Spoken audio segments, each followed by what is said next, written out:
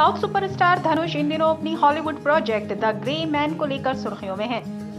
London के बाद बुधवार को द ग्रे मैन का मुंबई में प्रीमियर रखा गया इस फ़िल्म को देखने कई बॉलीवुड और हॉलीवुड हस्तियाँ पहुँची सोशल मीडिया पर द ग्रे मैन की प्रीमियर की कई तस्वीरें तेज़ी से वायरल हो रही हैं।